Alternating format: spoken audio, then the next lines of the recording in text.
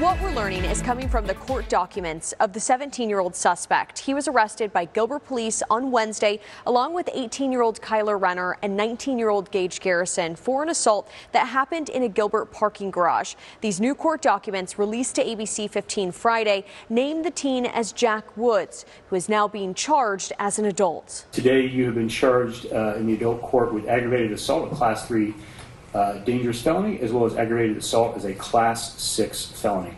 At the time of the alleged assault, Woods was 16. His court documents describe disturbing details. One person who knew the victim telling police the attack was five against one, and those who were part of the assault allegedly threw the victim on the ground, even stomping the victim. The use of brass knuckles was marked on Woods' court documents and brought up in court during his initial appearance. It is charged as a dangerous offense.